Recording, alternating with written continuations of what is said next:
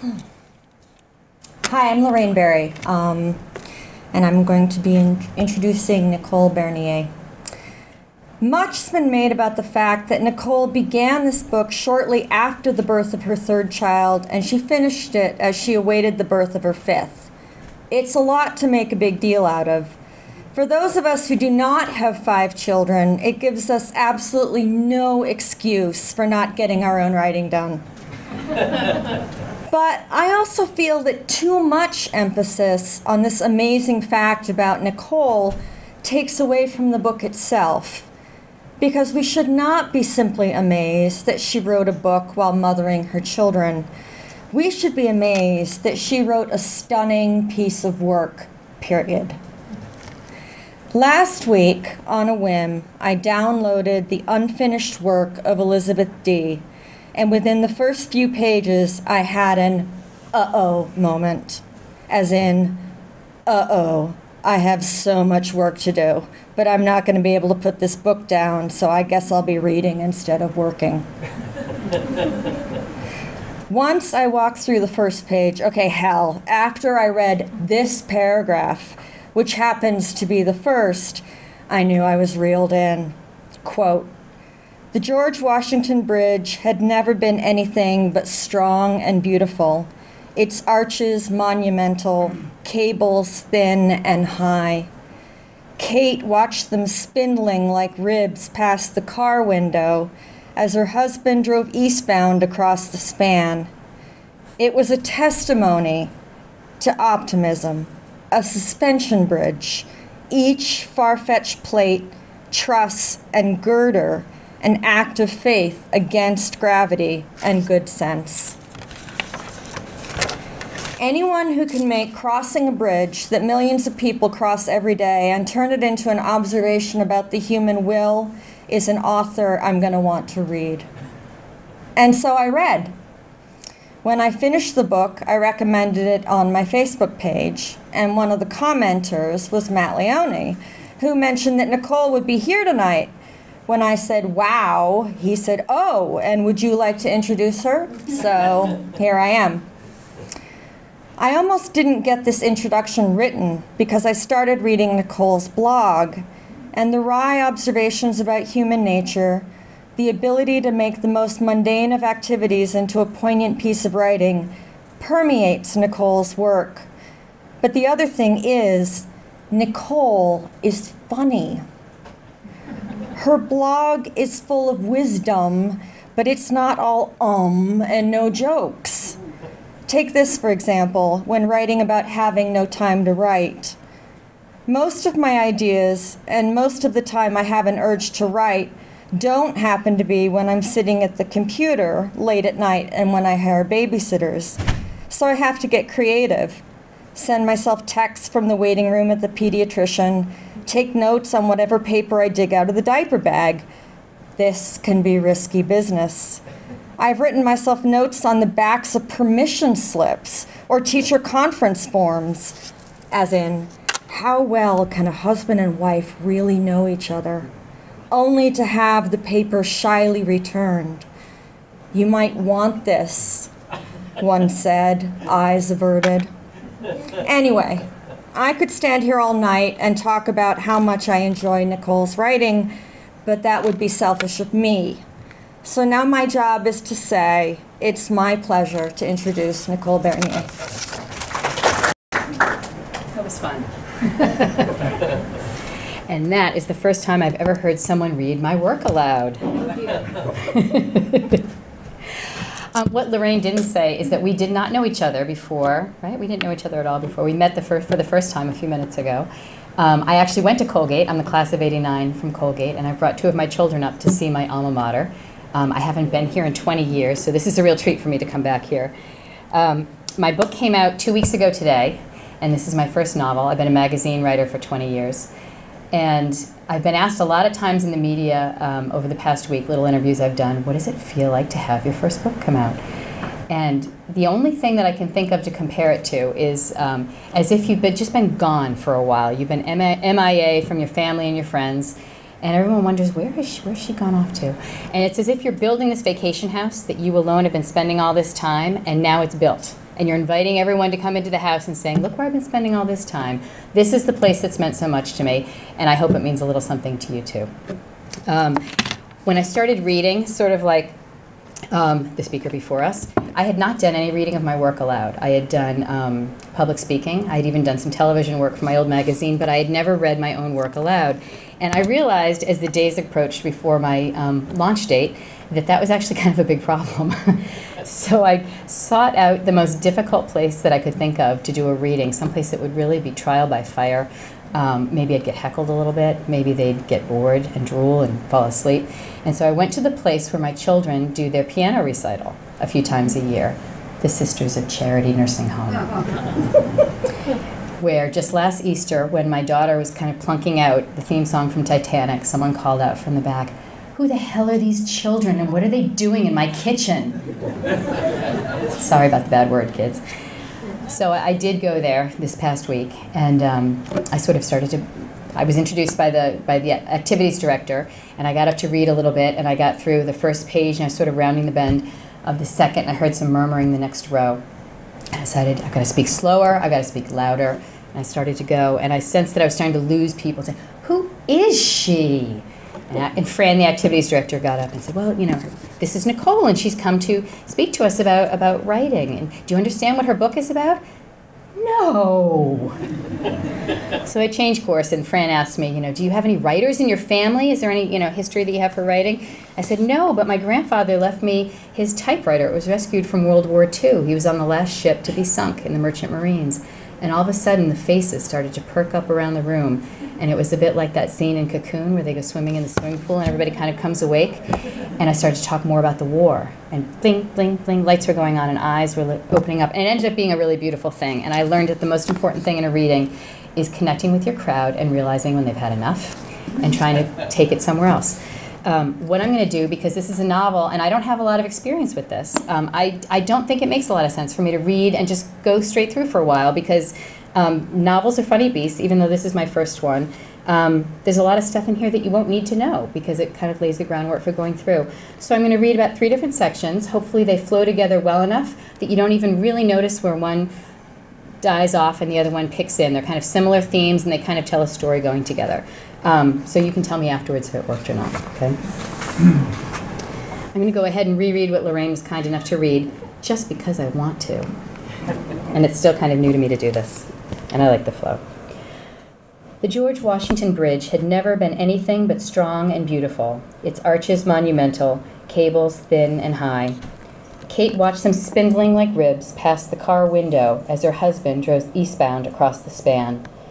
It was a testimony to optimism, a suspension bridge, each far fetched plate, truss, and girder an act of faith against gravity and good sense. The sun was strong, glinting off the bridge and hitting the river like shattered glass. Drivers traveling in both directions were shielding their eyes, staring, as she was, down the length of Manhattan. She didn't know what any of them expected to see mushroom clouds, skywriting in Arabic. She wished for some visible sign of drama where the towers had once stood. Then she looked toward Queens, even though it was impossible to see the site from this distance. Few people were even looking anymore, though she always would. The car reached the end of the bridge, and she exhaled. Chris glanced over, and she faced the window with what she hoped looked like ordinary interest, damp palmed hands loose in her lap. He angled the rearview mirror to check the back seat. The children were still asleep. Has Dave gone back to work yet? His voice was grave in the way someone speaks about a bad diagnosis. She put her foot up on the dash. A few months ago, his company let him take as much time as he needed. Chris nodded, satisfied. It was the right thing for the company to do, and he liked when the right thing was done with a minimum of drama. What's he doing with the kids? Did she have family close by? No, there's no one. A trickle of cool air from the vent brought goose flesh to her leg. He found an Annie, a nanny through an agency. That was the. It's strange to think of Elizabeth's kids with a nanny. That was the first thing she had thought too, like Julia Child farming out the cooking to a housekeeper. People do it all the time, Chris. Not everyone stays home with their kids. He looked over, gauging her. You know that's not what I meant, Kate. She turned back to the window and wiped the corner of her eye as if she were ridding it of an irritation. A nanny in Elizabeth Martin's house. The obvious things weren't what affected her most the obituary, the service, even visiting the crash site, a charred hole in Queens that seemed inhospitable to anything ever being grown or built there again. The smaller details were the potent ones. Seeing the open can of infant formula on the Martins' kitchen counter the first time she'd visited to help. Hearing that Jonah had lost his first tooth a few weeks ago, but Dave had forgotten to tell the tooth fairy. These were the things that gave certain days a dull ache she could not explain or shake. This would be the first time they would be getting together with the children, but without Elizabeth. Kate and Chris hadn't brought James and Piper when they came up for the funeral, a maudlin affair made worse by the baby in the front row drooling and pinwheeling her arms at the photo of her mother on an easel. Now the kids would be playing together like old times, but for the adults, all the roles would be unfamiliar. Dave would be host and hostess, Kate just a polite guest in the kitchen. He might jiggle the baby on one hip as he composed plates and poured small cups of milk, and Kate would offer to help, trying not to sound as if she questioned his competence. She would have to be social glue for the men, who had only ever come together because of their wives, and someone would have to take the lead with the kids. We don't throw sand at our friends, and it's time to take turns with the backhoe. That had been Elizabeth's job. It had all been Elizabeth's job. I'm going to skip ahead a bit to when they arrive at the house and they're all standing in the backyard at a barbecue together. In the summertime, the Martins' house had been the address for late afternoon playdates and margaritas overlooking the sandbox. Their backyard was ideal, children contained and safe, but so subtly fenced that they didn't feel restricted. The simple swing set was not so extravagant that parents had to be vigilant, but was so well designed that kids believed they were pushing the envelope on their own safety and emboldened to small act of rebellion. Parents never turned down an invitation to a Martin picnic because it was one of the rare places where grown ups talked and children played in coexistent, peaceful worlds. They even seemed to have fewer mosquitoes than the neighbors. It was a charmed setting and had added to the sense that God smiled on the Martins. Chris stood quietly at the grill, scraping burger residue with a steel bristled brush, his back radiating to Kate that after a few hours of small talk, this was hers to wrap up. Dave sat with his feet up on a deck chair, beer in hand, calling directions to the children playing hide and seek. When a child came close, a Martin or a Spencer, it didn't matter which, he'd reel the runner in by an arm or a leg. If his tickling was a bit more exuberant than necessary, the children were either unaware or did not mind.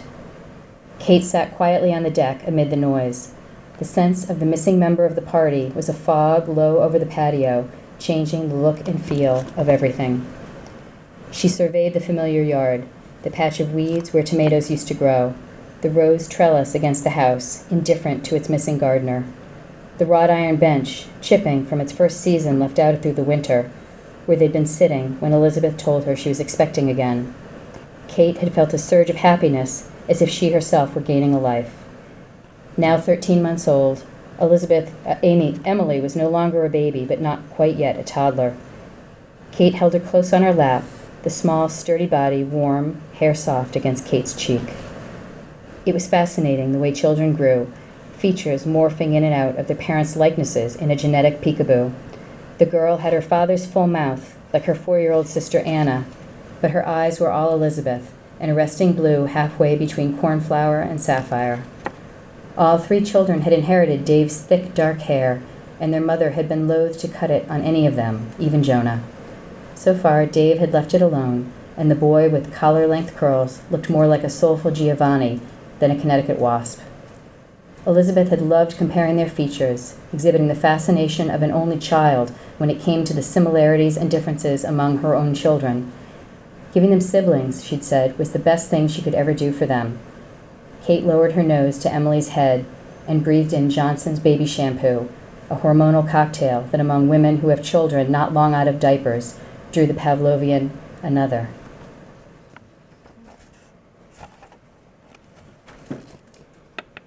In Kate's midnight mind, the crash went like this. The plane dipping severely after takeoff, mild gasps of surprise, an unnatural twist and an overkill correction. Views of the borough rising at surreal angles. Overhead bins falling open like startled mouths as the plane swung from side to side, then the scream of machinery failing somewhere below. In the middle of the cries and the terror, the laptops and purses streaking down the aisle, there had been a pale, still Elizabeth, frozen in her seat with the realization she would not see her children again. If she'd had long enough, she would have seen a parade of nevers, all the birthdays, graduations, weddings, the way her children's faces would look as adults, at ages when they would barely remember hers, no longer certain of what was a memory and what was a photograph posing as one. If there had been only a few seconds of awareness, it went more like this Elizabeth grasping the armrest, perhaps the hand of the person next to her, fragments of prayer, a desperate reflex, calling out her children's names and calling for Dave, but in the end calling last for her own mother, as we're all said to do. Sudden pain, or more likely, suddenly none. These thoughts always led to the same place Kate's vision of her own children, alone with Chris after something had happened to her. Disease, collision, it didn't matter how it would have come about. Loss would hang on James and Piper like poorly fitting clothes as they moved through town, people touching their hair and saying hello more attentively than they ever had, some even offering small gifts, which would cause the children to confuse death with a holiday. The kids would walk to school with their father, his vacant eyes an open door to a corridor of endless tomorrows. As they moved down the hall, the crowd would subtly part. Preschool staff and parents would greet them a little too warmly, and if the children remained affectless, the adults would move on, taking consolation in the fact that they had tried. The Spencers would move in a bubble of grief, and everyone they passed would be briefly enveloped, but it would stay with the Spencers wherever they went. She knew this because she'd seen it with the Martins. The public grief, the children so ill at ease and still confused by the never coming back part. Kate shook her head in a reflexive shudder to rid the image. Kate and Elizabeth's close, closeness had not been automatic five years before. In the beginning, playgroup was just playgroup. Kate's long standing friends, the ones from culinary school, were now scattered around the country and cooking throughout the world. When she got together with them, everything was fast and ironic, even the humor felt hungry, and she felt at home in a way she hadn't when she was younger in the quiet, cerebral confines of her parents' house. Among her peers, she felt finally measured by what she could say and do rather than by what she could not. Elizabeth was the opposite of fast and ironic. She didn't say anything she didn't mean, and she didn't forget anything you said. She remembered birthdays and old stories, called to check in after your wisdom teeth were removed. It was true that with her you couldn't go to that place of unsentimental candor, giving air to the ugly things, like how you could love your family but resent your life sometimes. But over time, that seemed less important. You could vent your frustration over a child, the dinners not eaten, and the tantrums thrown, omitting the part that you had to step outside, gasping like a beached fish, so you wouldn't say or do something you'd regret. And she would listen and pretend not to see the tears you pushed away, knowing you didn't want them seen. It was easy for Elizabeth to become the person you saw more than anyone else, the comfortable t shirt you reached for mornings when there was no need to impress anyone. Even after Kate moved away, Elizabeth was always there, checking in with a phone call at regular intervals, reliable as the tide. And then, one day, she wasn't.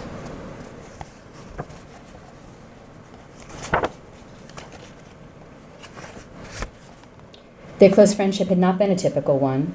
They didn't have the shared history of work and old boyfriends. Elizabeth had never taken the bait to talk about marital chafe or admit that there might be a thing or two you wished you were doing in addition to, or even instead of, diapers. She wasn't even a neighbor any longer, someone with whom you could pass a slow afternoon at the playground. But that's the funny thing about people who don't fit into a box. They grow to infiltrate everything, and when they suddenly go missing, they are missing everywhere. This is a small scene right before um, Kate goes out to dinner with her husband, and it exposes a little bit of the anxiety she's feeling after September 11th that she's been hiding. She should have been looking forward to dinner, great food prepared and cleared by someone else. She would style her hair and put on her pink sundress, the one too feminine for her taste, but that Chris liked. They would have a glass of wine and comment upon the bar crowd, and have uninterrupted conversation that was broad and worldly like the old days.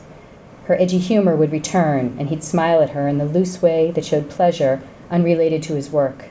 And when they returned to the bungalow, the sitter would be hastily paid, and there would be no flossing before bed. But that apathy was creeping in again, the sense she'd had lately that things didn't quite live up to their billing, so why bother? It was the same ambivalence and letdown she'd felt a few weeks before, out to dinner with friends. She genuinely liked the women, other mothers from Piper's preschool, but had the sense of dislocation all evening. Kids' activities, home renovations, none of it mattered. She was unable to shake the sense that none of it could be counted upon to last. She had started feeling this way after Elizabeth's death, but instead of fading as the months passed, it intensified. Sometimes it was a fog, a sense that she had not a single thought in her head worth sharing. Sometimes it was a growing panic that at any moment something could go very wrong. She'd always been conscious of her family's safety, but this was different. Danger was everywhere and nowhere, immediate and elusive, and no one was prepared. It was as if she alone could smell it, subtle as the metallic first moments of rain. She hadn't said anything to Chris, unable to imagine it, but she could imagine his response. After he stopped smiling, because surely his first thought would be that she was kidding, his look would change from one of identification to one of sympathy. He would suggest that maybe she should find someone to talk to, because it was quite a thing to lose a friend, and well, maybe everything that had followed had hit her especially hard, too. The fact of his suggesting it would be enormous, because he was an own bootstrap sort of man and the word therapy was not part of his lexicon. That was her fear, not professional help, which had occurred to her, but which she hadn't believed was necessary, but that Chris would look at her and see instability and weakness. It had been a long time since they'd gone out to dinner together, just the two of them. She could envision a staggered silence, one line of conversation after another, failing to catch hold, until they finally chatted about the weather expected the next day and whether to go to the beach. There were many evenings back home when they moved around and past one another, wordless for hours at their own tasks. She was thankful for the few hours of quiet focus, but at moments she felt the loss of quiet companionship, a like minded silence. Their daily lives were so different now, she could no longer say whether they were of like mind. Was it possible, she wondered, to have solitude together? She tried to imagine what he would do if after dinner she went to his study back home with her book or her laptop and sat on the couch there instead of in the living room as they had in the early years. He might glance over the top of his computer with a look of surprise and then a smile of welcome. Hey there. Or there might be a moment's hesitation. She'd sit quietly nearby, each of them feeling the weight of the other in the room and a dampening of his or her own thoughts, each looking up expectantly when the other shifted in a chair or looked off in the middle distance. She might offer a snippet of commentary about something she was reading, but it would not be easily understood out of context. After an hour or so, she would stand and stretch, murmur that she thought she'd call it a night, and the following night she'd go back to the living room. It was a gift, solitude, but solitude with another person, that was an art.